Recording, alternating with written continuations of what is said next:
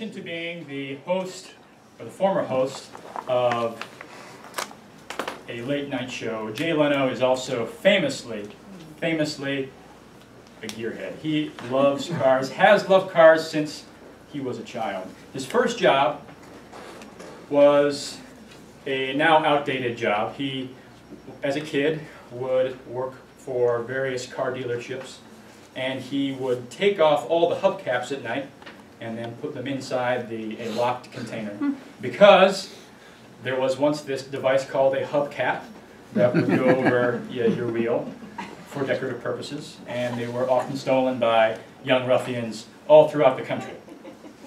And one day he was running late. He was trying to go from dealership to, de to dealership, and he was at the local Ford dealership. And he had a stack of these hubcaps, and he was he was running because he was going to go to the Chevy dealership next door, and he tripped. And when he fell, all the hubcaps that he was carrying were scattered all across the pavement in front of him, and they were scratched beyond repair. Hmm.